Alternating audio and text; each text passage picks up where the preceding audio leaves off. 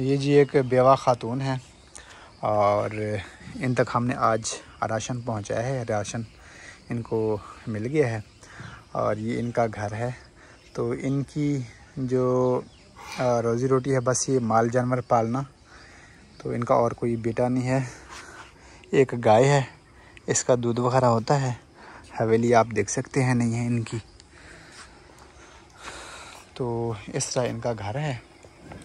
तो इनकी एक बेटी जवान है तो ये कह रही थी कि इनकी बेटी की जो ना शादी है तो कब है इनकी मालूम लेते हैं। अस्सलाम वालेकुम।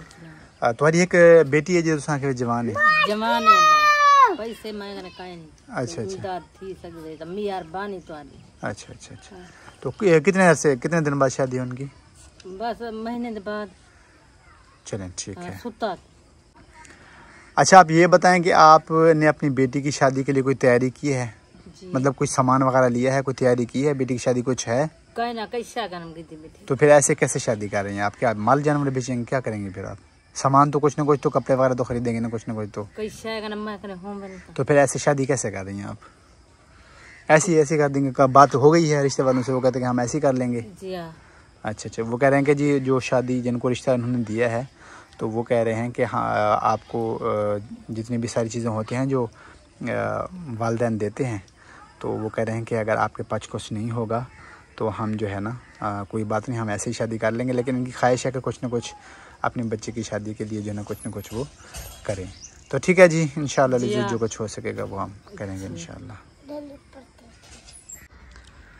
ये जी मोहम्मद अली साहब हैं और इनकी उम्र जो है तकरीबन कोई चालीस के करीब है और ये एक जल्दी मर्ज़ में मुबतला हैं।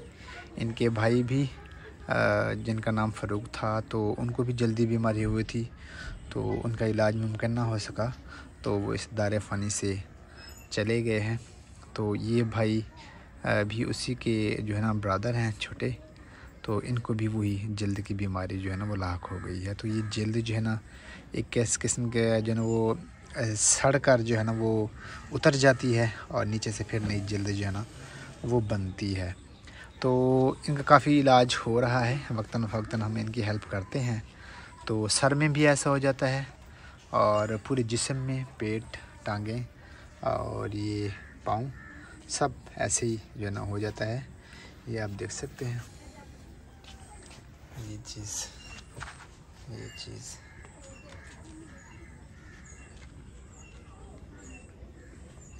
ये एक खुशकी की तरह जो उधर जाता है और बहुत ही गर्माइश इनको जो है महसूस होती है। और ये अपने जिसम को ठंडा रखने की कोशिश करते हैं। गर्मी में बाहर नहीं निकलते। तो ठीक है। गर्मी में बाहर निकलते। सर सर में होता मुँह में भी हो जाता है। हाँ, तो इसकी नई जिल्द बहुत ही रेड रेड टाइप की निकल आती है। तो आ, मैंने कई दफ़ा पहले जो है देखा है इसकी सूरत हाल। तो अच्छा सर में जब होती है तो ये आ, क्या फिर बाल नहीं नीचे गिरते? गिरते कुछ गिरते रहते हैं बाल भी। अच्छा ये कहाँ से हुई थी आपको? कोई आ, बताते हैं डॉक्टर को पता चला है कि क्या है ये क्या नहीं है? खुश के कानों में हुई है।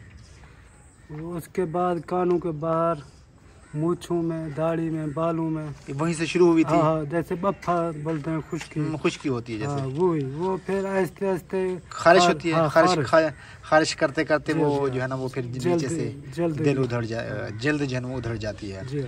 तो आपके भाई को भी यही मसला था? हाँ वो उसको भी ये मसला था। तो वो इलाज नहीं करा सके थे?